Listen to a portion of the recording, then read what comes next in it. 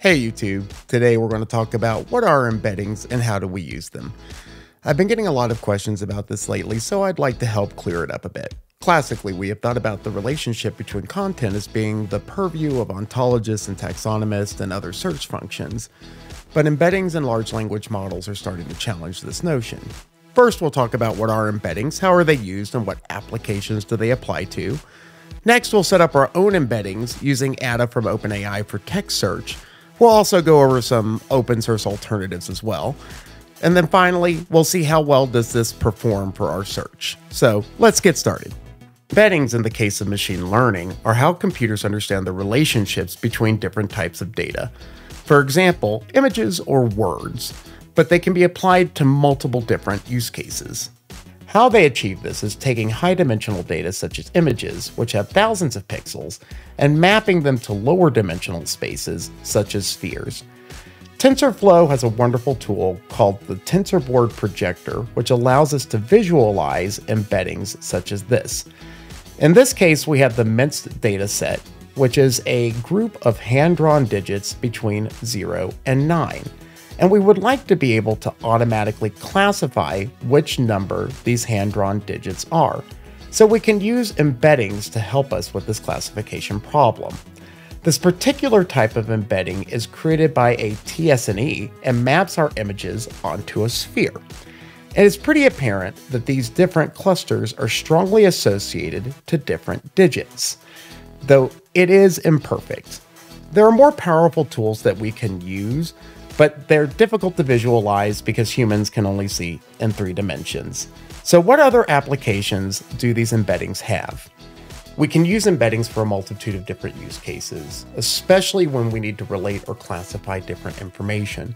But perhaps one of the most relevant use cases today is how language models understand words and concepts. Computers don't naturally understand human language, so we have to give them a tool that allows them to be able to do tasks like finish the sentence, I have a pet.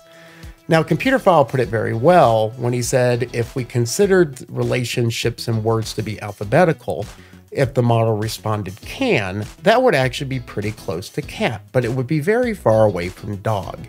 So we have to use a different tool, which is where Word2Vec comes in which allows us to place words spatially, and the closer words are, the more related they are. So for example, this is a 10,000 word clustering of Word2Vecs. And so if we look at different parts of the clusters here, we can see that, for example, physician, psychologist, um, inventor, historian, these are all grouped together here as professions. If we go over to this part of the map, we can see Jeffrey, Gordon, oh, the race car driver grid, um, Eric, Glenn, Alex, and so forth, different um, names for people. We can even zoom in on here and take a look at what are clustered closer inside. We can see understanding, thinking, thoughts, knowledge, things that are related to each other are just more closely packed. Now, modern language models use more complex embeddings alongside transformers to be able to understand more complex topics, such as the difference between the following use of server. The server brought me a cup of water versus I crashed the server the same word, but with multiple meanings. But modern language models can use transformers alongside different embedding techniques to understand the differences between those two meanings. Now let's try an example where we can run the code ourselves. If you check the description below, I've uploaded this code with instructions on how to load the dataset and start the projector.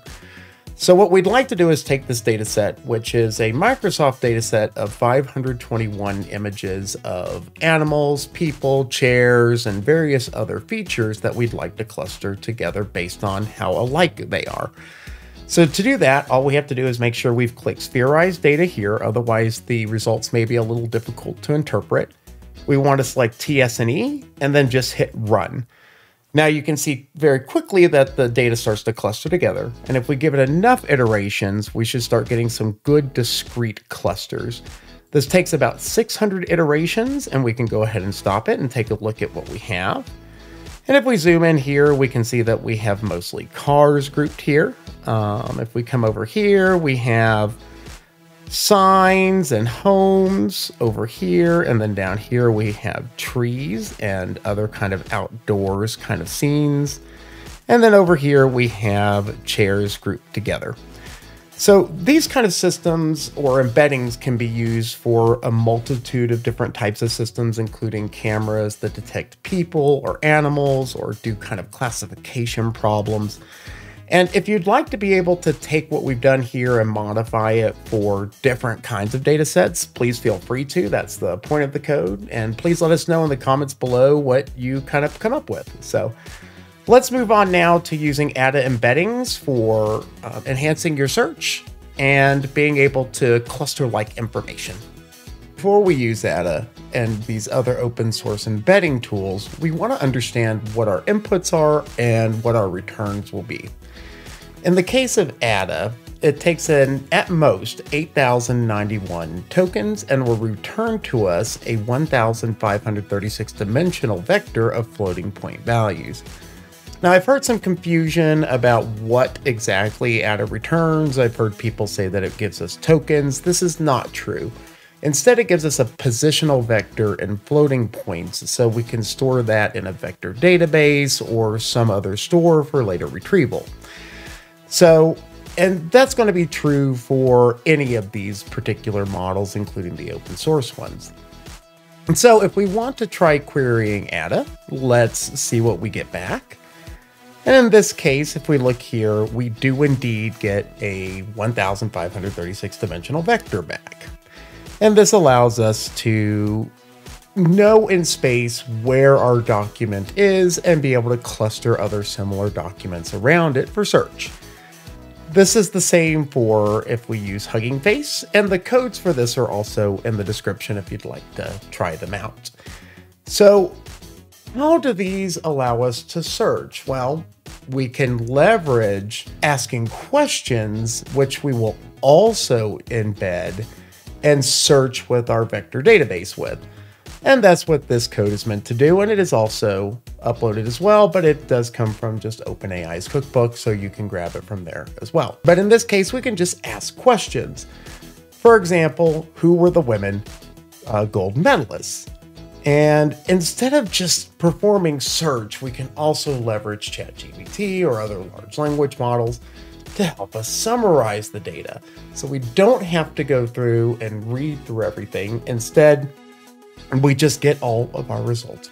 So in this case, ice hockey, we had Canada. For freestyle skiing, we had uh, Shu Min, Mintao Eileen Yu, Eileen Yu for Big Air and Half Pipe. We had Matilda Gremaud for Slope Style and Moguls, uh, Jakara Anthony, and so forth. So we could also ask who were the men's champions. We could ask what particular people from Europe, what people from North America, and so forth. Um, and this is just meant to really empower our ability to have much more performance search than we have had in the past. If this was helpful, please like and subscribe, and please let us know in the comments what you'd like to hear next. And please tune in next time for when we're going to be talking about vector databases and how to use them for your application.